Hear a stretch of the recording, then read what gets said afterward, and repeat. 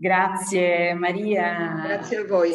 Spidale, eh, Livia Turco non l'ho detto prima perché sono una pessima diciamo, organizzatrice, io invece e non ho detto che è l'autrice di una bella prefazione, ma ne parleremo tra un poco. Adesso è il momento di Pietro Spataro. Ah, naturalmente non faccio la difesa d'ufficio di Mieli che non è presente qui, che però ha scritto eh, una, una pièce, un, un, un, suo testo teatrale sul, sul PC che tu non ci crederai Maria, ma conteneva persino dell'affetto. Non ci crederai? e, um, Pietro Spataro, ci sei? Ecco. Eh, eh, tu sei stato subito interrogato, diciamo, una di quelle domande abbastanza mh, complicate da Gabriella Nisticò, decidi tu come rispondere perché immagino che una storia che è ancora non conclusa come quella dell'unità, eh, non so bene cosa eh, sia di, dell'archivio, ma a te volevo anche chiederti di questa bella testimonianza che tu raccogli, che è quella di un tuo collega sostanzialmente, Carlo Ricchini, e ehm, tuo anziano collega naturalmente, bellissima la chiusura quando Carlo tu dici, tu scrivi, mi saluta dalla porta di casa con un sorriso e la sua magnifica ossessione, dai Pietro proviamoci, o anche il nome del nuovo giornale lo chiameremo Eccoci. E, e, Pietro si chiede in questo tuo racconto, ma si può fare un partito senza fare un giornale? E domandona che io non, non oso neanche rivolgerti, volevo solo segnalare a chi ci sta ascoltando che questa domanda c'è effettivamente. Pietro, ci sei? Non ti vedo. Eccomi. Ecco. Eccomi, allora, vabbè, prima di, di, di, dire alcune cose brevissime sulla questione dell'archivio, io volevo intanto ringraziarti per le bellissime parole commoventi che hai detto sul, sul libro e, e, volevo anche, perché insomma queste presentazioni dovrebbero servire a questo, informare chi ci sta ascoltando come si fa ad avere il libro. Basta andare sul sito di Striscia Rossa, www.strisciarossa.it e in alto accanto alla testata c'è un link eh, seguendo il quale si può eh, scorrere l'elenco delle librerie o delle edicole in Italia che vendono il libro oppure ordinarlo direttamente eh, online che viene spedito eh, a casa. Eh, detto questo, per quanto riguarda la, la questione dell'archivio, io non, è, non, non, ne so molto perché purtroppo mh, la vicenda dell'archivio è la stessa brutta vicenda che ha, che ha coinvolto l'unità. Per cui io so che un gruppo di ragazzi sconosciuti, non so chi, chi siano, è riuscito a, come si dice in gergo, a craccare ehm, l'archivio dell'unità, per cui l'archivio dell'unità è visibile online eh, in maniera un po' lacunosa, per cui la ricerca non funziona bene, mancano alcune pagine, però fondamentalmente eh, funziona per fortuna grazie a questi, a questi ragazzi che, che sono riusciti, no, non, non capisco nulla di tecnologie, quindi non so come abbiano fatto. Ma per e fortuna, soprattutto non diamo notizie di reato perché... Per fortuna ci sono riuscite perché altrimenti con la chiusura dell'unità l'archivio che fine ha fatto eh, non lo so. So che se ne era occupato anche in parte la, eh, la Fondazione Gramsci con la quale noi avevamo parlato, ci ho parlato io con eh, con Giasi e quindi alcune cose ce l'hanno anche loro. È tutta una cosa che sicuramente è andata, è andata perduta. Ora, per quanto riguarda eh, invece il libro, a me, devo dire la verità, mi ha aperto il cuore la testimonianza di Maria, perché eh, mi ha fatto rivivere cose che eh, abbiamo vissuto un po' eh, tutti noi.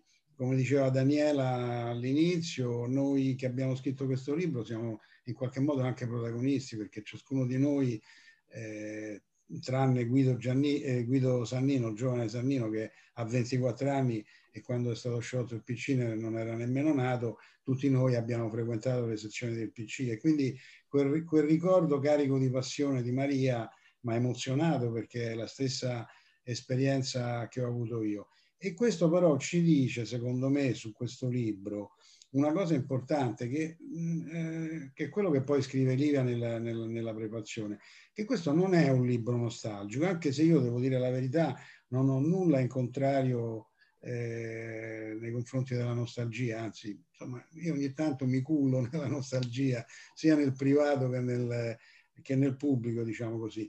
E, anzi, credo che la nostalgia sia utile se è usata per capire come eravamo, come siamo diventati e che cosa possiamo correggere oggi. Quindi questo libro non è per nulla nostalgico, non ha voluto per niente fare il santino del PC, perché anche il PC ha commesso un sacco, un sacco di errori e ogni storia, ogni storia racconta, racconta questi errori, anche la storia del, del, del del movimento, del movimento femminista, i ritardi del PC. Il PC sostanzialmente è sempre, è stato, non sempre, ma insomma è stato per lunghi tratti un partito, un partito maschilista. L'operazione che abbiamo voluto fare noi era di raccontare appunto queste 13 storie dei compagni e compagni per raccontare la storia del PC da un altro punto di vista, per raccontare quello che eh, Fulvia Bandoli e Franca Chiaromonte nel loro bellissimo libro sulle parole, sulle parole del PC, eh, chiamano appunto il corpo del PC, il corpo del partito, che era una formula, se vi ricordate, si usava allora, no? Bisogna ascoltare il corpo del partito, bisogna andare al corpo del partito, eccetera, eccetera.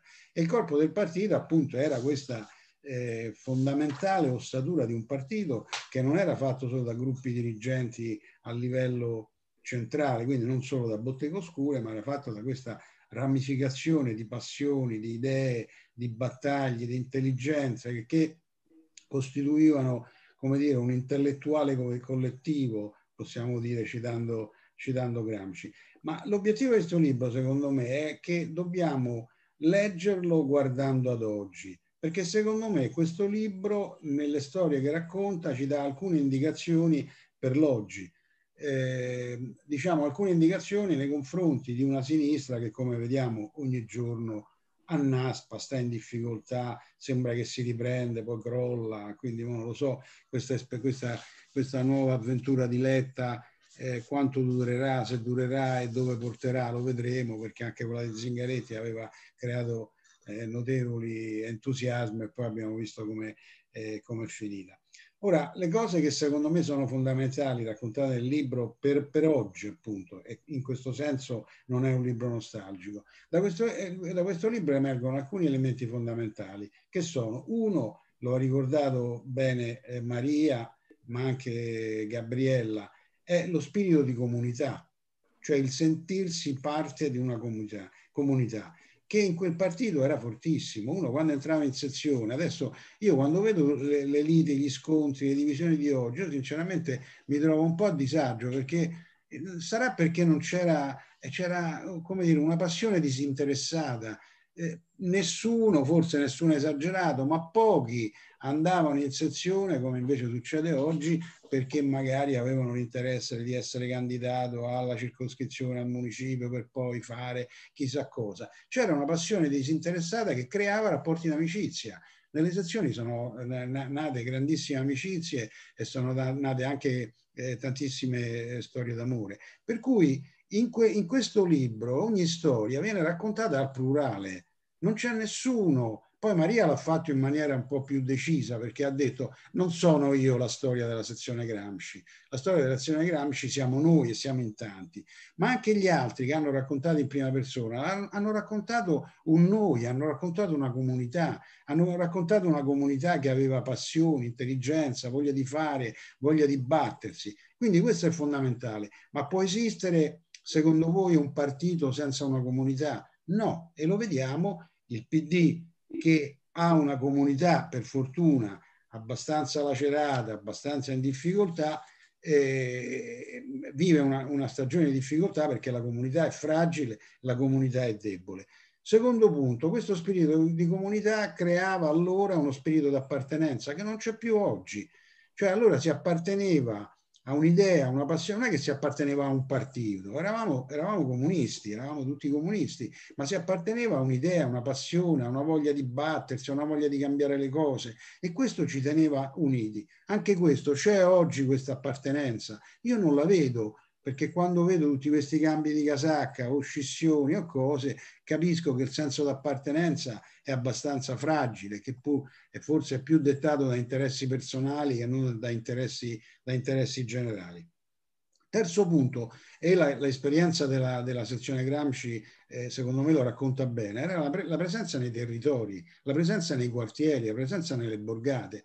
Oggi sento, sento spesso dire eh, del PD che bisogna eh, finirla di essere un partito della ZDL, ma bisogna tornare eh, in periferia. Io quando sento questa frase, una volta ci ho anche discusso con Lucia Annunziata, un po' mi arrabbio, perché non è che bisogna, a, a, bisogna tornare o andare nelle periferie, non so, a scoprire eh, gli indiani e le riserve, le riserve indiane. Nelle periferie bisogna starci, cioè il PC era un partito forte perché nei quartieri, nelle borgate, nelle periferie c'era. Non a caso allora se andiamo a 50 anni fa, negli anni 70, il, il, PC non era assolutamente un partito della ZTL, perché nel centro storico prendeva pochissimi voti e il grosso, ma il grosso, oltre il 50%, lo prendeva nei, nei, nei quartieri popolari. E, l'ultima cosa è quella che riguarda la cultura. Beh, la cultura è stato un elemento fondamentale in questo partito ma non solo a livelli alti, a qualunque livello. Cioè la cultura permeava ogni comportamento, cioè, mi ricordo nelle sezioni si studiava, quando si facevano le riunioni si studiava, non è che si faceva la riunione e ci scappava come, come succede oggi il tweet o il post così e butti là e lo dici. Eh, facevi la riunione del direttivo su un comitato centrale che era uno, un classico, no? Riunione del direttivo sulle conclusioni del comitato centrale e uno del comitato centrale se lo studiava si studiava tutti gli interventi, le, la relazione del segretario, i vari interventi, eccetera. Non solo, ma in ogni libreria, me lo ricordo, in ogni sezione, me lo ricordo, c'era, c'era l'angolo, l'angolo dei libri, c'era l'angolo dei libri e si studiava, si leggeva. Oggi è tutto più fluido, veloce, ma vedo anche che pochi studiano. Qui, e concludo, eh, arriviamo al tema del racconto di Ricchini. La storia di Ricchini è una storia straordinaria che che secondo me racconta benissimo la grandezza di quel partito. Cioè Ricchini era un ragazzo che alla fine della, de, de, della guerra, subito dopo la guerra di liberazione, era praticamente uno spiantato. Viveva alla Spezia, era finito, come racconta lui, in un giro anche abbastanza losco, con personaggi poco raccomandabili, e viene, lo dice lui, tra virgolette, salvato dal partito, perché conosce il partito, comincia a frequentare la sezione, riprende a studiare perché aveva abbandonato gli studi e da lì comincia tutto il percorso di Carlo Ricchini che lo porta ad essere cosa straordinaria che forse oggi non succederebbe, lo porta ad essere il redattore capo del eh, giornale del Partito Comunista Italiano, cioè dell'Unità, negli anni 70-80 ed essere redattore capo dell'Unità negli anni 70-80, ve lo assicuro, voleva dire essere una persona forte, autorevole, eh, insomma una persona di, di, di, grande sostanza. Il redattore capo dell'unità all'epoca parlava col segretario del partito, quindi, quindi con Berlinguer. Questa storia è bellissima, ma è bellissima anche questa perché a me sorprende perché lui ci mette più passione di quanta ce, ce ne metto io e ce ne possa mettere io. Cioè l'ostinazione di Carlo Ricchini che ha compiuto l'anno scorso 90 anni per il fatto che bisogna fare un giornale, a me mi commuove perché è una persona di 90 anni che potrebbe comunque sia riflettere sulla propria vita, eccetera, eccetera, invece ha questa grande passione perché giustamente lui ritiene, e mi pare un'ovvietà, che un partito senza avere non un giornale di partito, perché nemmeno l'unità è stato un giornale di partito, almeno dagli anni 70 in poi, eh, ma avere un giornale che in qualche modo è un giornale di riferimento, che possa aiutare, che possa tenere insieme i pensieri, le riflessioni, le idee, eccetera, anche quelle diverse, anche quelle contrastanti, secondo me è, è assurdo che, che, non, che, non, ci sia un giornale, un giornale così. Apposta io dico la magnifica ossessione. Ricchini è talmente ossessionato, tra virgolette, da questa idea che appunto nel libro racconta che appena eletto segretario Zingaretti ha scritto una lettera a Zingaretti per dirgli ma perché non facciamo un giornale? Zingaretti ha sorvolato, diciamo così, e ha fatto una risposta molto formale, ma la cosa straordinaria è che qualche giorno fa mi ha detto che ha già mandato una lettera a Letta sullo stesso argomento, perché bisogna fare un giornale? Ecco, allora adesso per concludere, tutto questo che significa? Significa che in quel partito c'era vita, c'era vita, c'era vita, c'era bella vita, c'era bella gente, c'erano idee, c'erano passioni. E tutto questo, secondo me, nessuno vuole rifare il PC, anche se insomma, se ci riuscissimo non sarebbe male. No, dico, scherzavo. Nessuno vuole rifare il PC perché comunque è passato del tempo, le cose sono cambiate, eccetera, eccetera. Però appunto io penso che prendendo quel buono che c'era in quel partito, le cose che, che ho detto prima, secondo me queste possono essere utili anche alla rifondazione, alla ricostruzione di una sinistra che spero presto sia molto diversa da quella eh, che abbiamo di fronte oggi. Grazie a tutti.